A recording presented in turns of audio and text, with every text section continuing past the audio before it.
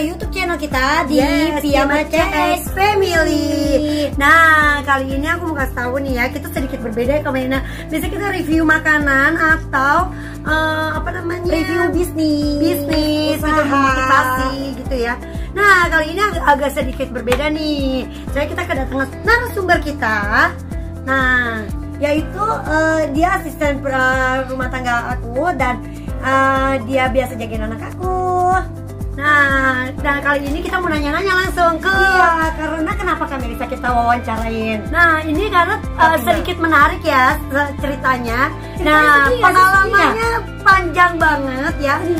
Nah, nah aku mau menginspirasi buat suk kalian mama mami mami mami juga dan memotivasi kalian semua biar tetap semangat ya. ya biar semangat ya, jadi kayak super mom gitu loh guys.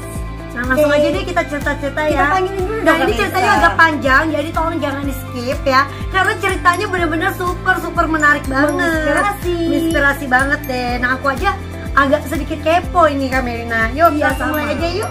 Oke, kita panggilin dulu ya. Kavina. Nah, Ini Kavina oke. ya, nah. Maklum ya, Ben, kalau orang ada malu-malu gitu ya. Oke. Sekarang kita akan berbincang-bincang dan kita akan tanya-tanya Iya. dan iko- akan akan menginterogasi nih karena kita pada kepo ya kan. Iya, benar banget. Nah, kita nanya-nanya nih ya sekarang ya Ya. Kak Melina. Pertanyaan pertama, dari umur berapa sih Kak udah mulai jadi asisten rumah tangga? Eh, masih kecil ya, udah baru umur 12 tahun. Wow. Udah, udah cari uang sendiri, udah bisa mandiri, pokoknya udah bisa apa-apa bisa bikin sendiri dan nggak minta lagi sama orang tua. Wow, 12 tahun. 12 tahun. 12 tahun kita masih main apa Kak Melina? Main apa ya? Main apa kita udah eh, baru jadi apa ya kita ya? Masih Iya. sekolah, masih apa lagi ya? Masih panas-panasan ya? Ya betul banget. No, Jadi hebat 12 banget, hebat banget, hebat udah banget. bisa nyari uang sendiri. Wow, ini hebat banget guys. Nah, kalian 12 tahun pernah jadi apa? Komen di bawah ya. Komen ya. Nah, pertanyaan kedua Kak Melina.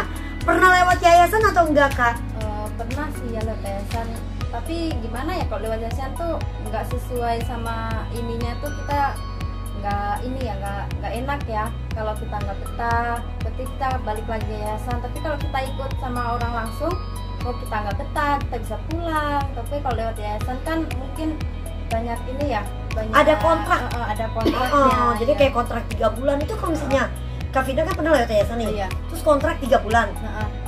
Pernah itu, tuh Kak Vina nggak betah gitu pernah iya nggak? pernah bolak balik yayasan kan jadi mana yang cocok gitu kan sama bos Tapi itu dibayar nggak? enggak kita nggak dibayar Wow. kita cuma ya sama aja kita kayak mencoba kan Tapi majikan itu gajinya ke kamu langsung apa lewat yayasan langsung? langsung, langsung dikasih yayasan nggak lewat kita kalau kita sesuai sama Oh, ini semu- sesuai sama kontrak baru kita kasih gaji gitu baru di ini baru dikasih Beda yayasan, beda, Oh, beda yayasan, beda peraturan. Ada Iya. juga sih gue pernah dulu. hmm, Jadi gue tuh udah 12 suster Clara. gue pernah juga lewat yayasan ya kamera Iya. saya. Jadi gue harus gaji iya, gaji orang ini, Heeh. tapi gajinya langsung ke dia. oh, Cuman ada beberapa yang yayasannya bilang nanti gaji gue tahan dulu ya Iya. karena uh, dia nggak sesuai sama kontraknya dia. Ada yang bilang kayak gitu. Iya. Nanti gaji ke aku aja ya, jangan ke orang yang langsung. iya Tapi kadang-kadang kita tuh sebagai majikan misalnya kayak nggak tega gitu kan Iya. karena dia yang kerja ya kita pengen kasih ke dia tapi uh, yayasan berbeda seperti itu sih ya. iya Hmm, oke oke oke. Jadi intinya setiap yayasan itu punya Perbedaan. prosedur yang berbeda-beda ya kan ya, setiap kerja uh, beda-beda. Beda-beda bos, beda-beda Iya perusahaan. benar seperti itu sih. Mm-mm. Ya. Nah sekarang pertanyaan nomor tiga. Pengalaman terkesan jadi ART Nah ini seru nih. Paling berkesan kak? Pengalamannya apa ya? Paling ini ya? Apa? Apa nih? apa ya terkesan ya? Paling seneng gitu. Ya Jalan-jalan. paling Ya, iya dong paling jalan-jalan kan kalau kita sebagai ART kan perlu kita refreshing ya Iya, jalan-jalan. betul. Dan kan RT itu perlu refreshing juga Iya, kan? bener, guys. nggak harus kita beresin rumah melulu nggak harus nggak ini apa Iya, betul pokoknya intinya kita harus refreshing lah Oh jadi itu berkesan tuh kak ya Berkesan itu. Heeh. Kemarin ke, ke Paris kan, ke Paris, Parisan. Ya terus eh, oh, ini cerita lagi dong kak Apa pernah nggak kak eh, nggak betah itu sama majikan gitu pernah Misalnya ya. cuma sebulan doang kerja Atau bahkan satu hari doang? iya satu hari pernah Wow, tuh waduh. Satu hari pulang gitu kak? iya Aduh, pernah itu ceritanya tuh, Kak? karena majikan galak sih ya Majikannya Galak. galaknya kayak gimana? galaknya sih apa semuanya nggak boleh dipegang nggak boleh dipegang mungkin Kalau nggak dipegang semua, majikannya lagi kerja sendiri. tuh eh, banyak ini banyak omong gitu ya cerewet gitu kadang kan orang walaupun kita eh, sebagai pembantu maka masih mau dihargai gitu kan kadang omongannya nggak benar gitu kan ada bos kayak bos ada yang omongannya ceplok-ceplok gitu kan Nah, untuk para para majikan nih yang mungkin punya asisten rumah tangga, nah kalau ngomong agak direm ya. Rem ya. Mm-mm, jangan terlalu ngoceh mulu tuh ya.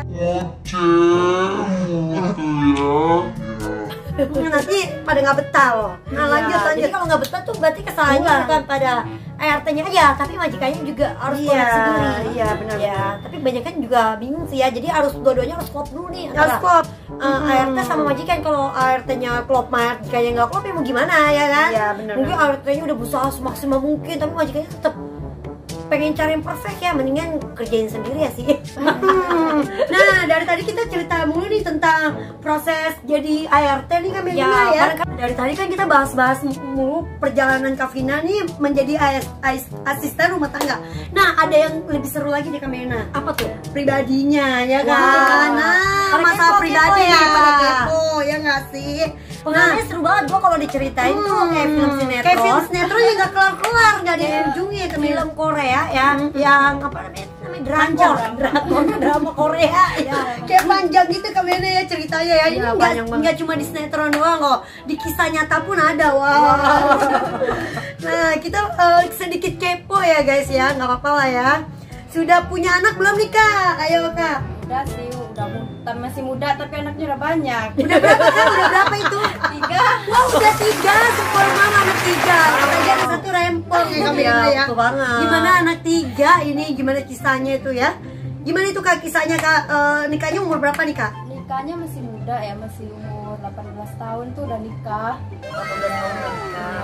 Nikah udah Berarti KTP jadi langsung nikah kak Mena?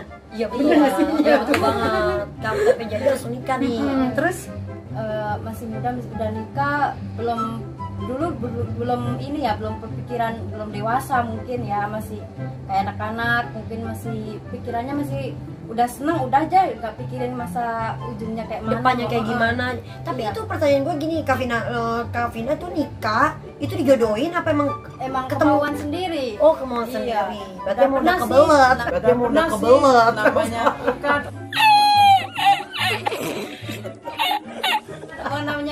orang tua udah pernah pernah ngomong gini jangan dulu nikah nanti kamu nyesel loh tapi kan namanya kita udah senang udah cinta gimana Terus eh, suaminya ngajak serius gitu ya Ah, pasangannya iya. ngajak kadang-kadang sih gitu sih Kak Mesa omongan orang tua itu Iya. walaupun kadang-kadang Nggak enak, enak, enak. tapi kadang-kadang tuh bener-bener Ada benernya. benernya gitu Iya.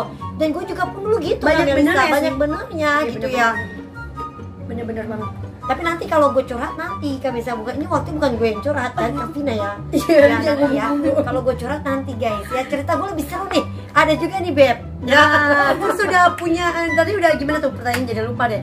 Udah punya ya udah punya anak tiga. tuh, Terus pas 18 nikah kan bisa. umur 18. Ah. Nah, terus eh, nikah langsung punya anak tuh kak, kak.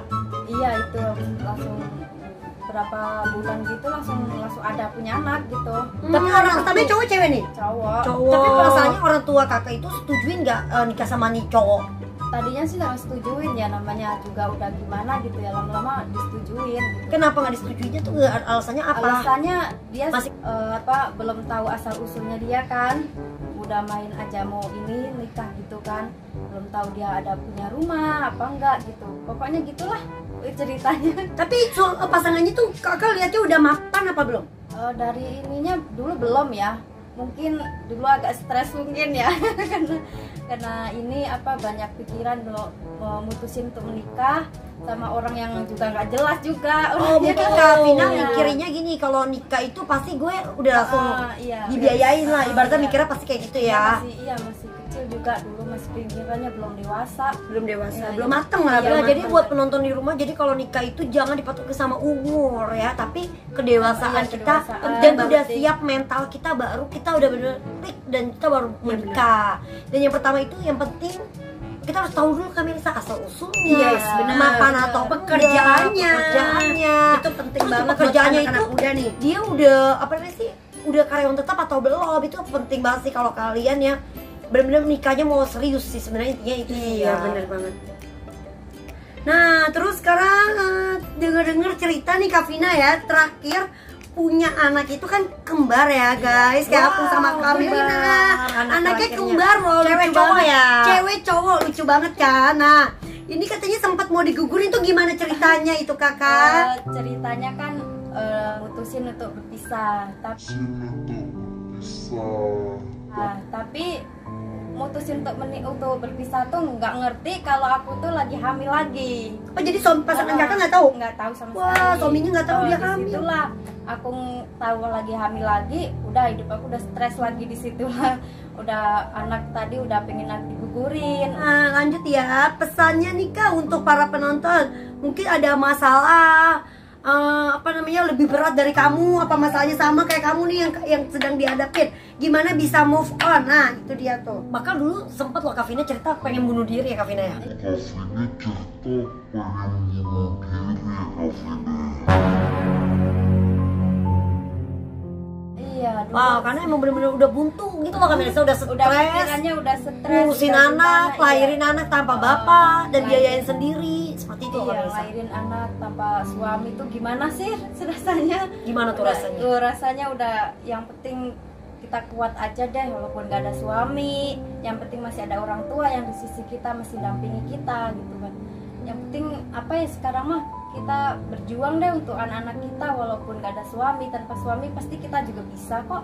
Iya. Terus teman teman. Terus apa lagi nih kami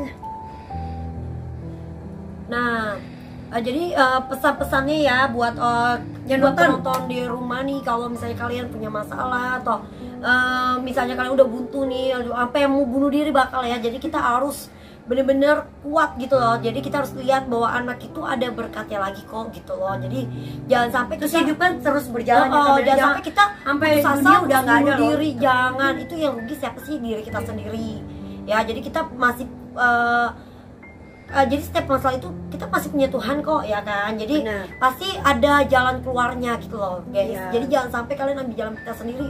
Kalau perlu kalian curhat sama orang tua kalian sendiri sama keluarga kalian sendiri seperti itu sih. Ya jadi kan nggak mungkin ketemu jalan gelap mulu. Kamera nanti pasti ketemu titik cahaya ya nggak? Jadi eh, buat semuanya para penonton eh, apa namanya Piyama CX eh, family eh, tetap semangat tetap berjuang ya. Eh, kalau kita lagi ngadepi masalah mungkin masalahnya nggak seberat Cavina ini. Tapi kita tetap semangat ya eh, dan namanya hidup pasti ada masalah ya iya Melisa, benar ya. banget. Tapi gimana kalau kita masalah nggak berwarna dong ya. Yang pasti Iya. gimana cara kita menyikapin dengan pikiran positif aja sih ya. Kalau Iya, kita benar pikirannya positif terus hidup kita bakal positif kok. Ya ya jangan lupa di subscribe komen dan like ya. Thank dan kalau masukan lagi langsung aja ya. Thank you ガッツです